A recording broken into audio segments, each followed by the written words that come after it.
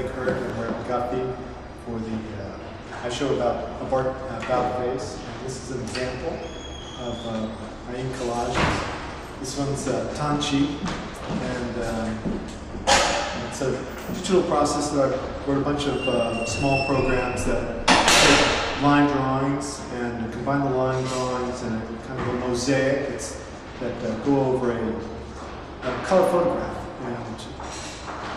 And drawings tend to tell a story about the picture itself, about the person, uh, my thoughts about the person. In this case, the uh, which is called Tanchi, say uh, picture requested by his wife, and uh, so the elements that are part of it, the playing cards, for example, and um, the golf cart, are elements that she thought were important in his description of himself.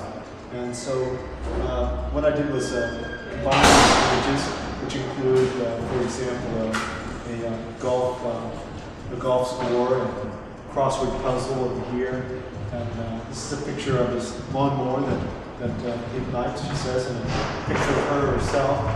Um, and each of these elements that she felt was an important part of how he thought about himself, how he spent his time, what he thought about, and uh, what she thought about.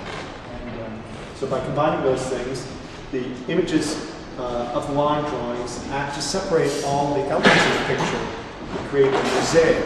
And the mosaic, when looked at a distance, gives a representation of him, and when you get closer to it, as you physically look, that is the image of him dissolves, and you get the narrative about him that uh, she describes him as, as being composed of. So the picture is more than just a portrait, it's, it's also more than just a